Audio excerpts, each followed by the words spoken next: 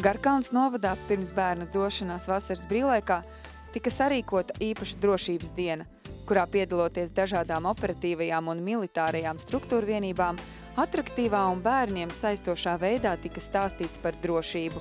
Bērni tika instruēti, kā rīkoties dažādās situācijās, un tika dota iespēja pat nokārtot velo tiesības. Turpinājumā ieskats Garkalnas novada organizētajā drošības dienā. Klāt atkal kārtējais mācību gada noslēgums.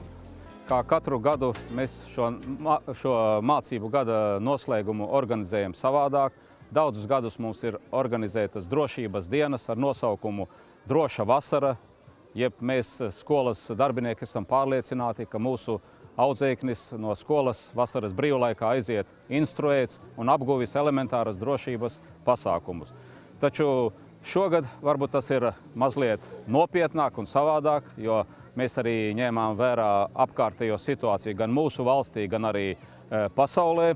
Un e, šodien mēs esam e, šo drošības dienu organizējuši kopā ar Garkalnes novada domi, ar Garkalnes novada pašvaldību, kura veica šo galveno organizatorisko darbu. Un jūs jau šeit šodien redzat, uz laukuma ir gan armija, gan zemesargi, gan mediķi, gan policija, gan arī daudz dažādi citi dienesti.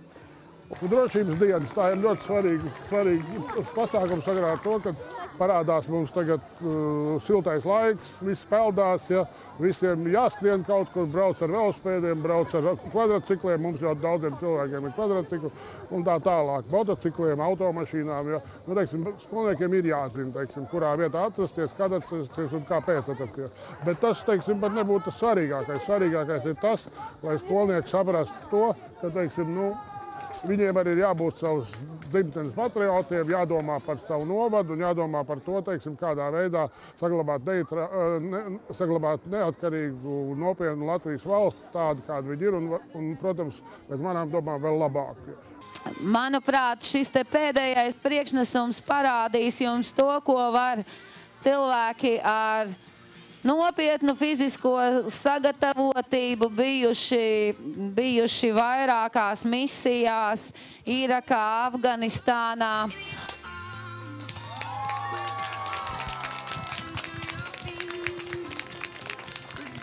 Šeit es esmu gan kā robežsardzes pārstāvis, gan kā bērnu vecāks, jo man abi bērni mācās šai skolā. Uzskatu, ka šis pasākums ļoti noderīgs bērniem, jo viņi var iepazīties ar Piemēram, ja kāds jau domā, kur sākt studēt vai kaut ko, viņi var izvēlēties arī kaut ko saistīt ar valsts drošības iestādēm, kā piemēram iet armijā vai policijas koledžā. Jauniešiem tas ir ļoti pamācoši un ļoti aizraujoši. Un tā nav ikdiena, ka kaut ko tādas lietas var redzēt dabā, gan šaujamos, gan arī policijas moci.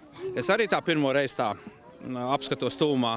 Man ļoti, nu, man ļoti vispār patīk policijas ekipējums un pati policija, jo viņi ir visdrošākā pasaulē un tieši Latvijā. Skolniekiem, bērniem, kas atpūšās vasarā, es ieteiktu, tātad, ja viņiem sanāk kaut kāda darīšana ap pneumatiskajiem ieročiem, tad nevērst stobru pret saviem biedriem, pret cilvēkiem, un ja kaut kur spēlējoties mežā gadās atrast mantojumu no pasaules kariem, nesprāgušas priekšmetus, tad neaiztikt viņus, bet atcerēties, kur viņi ir, aiziet pieaugušajiem, paziņot un lai speciālisti ar to tiek galā.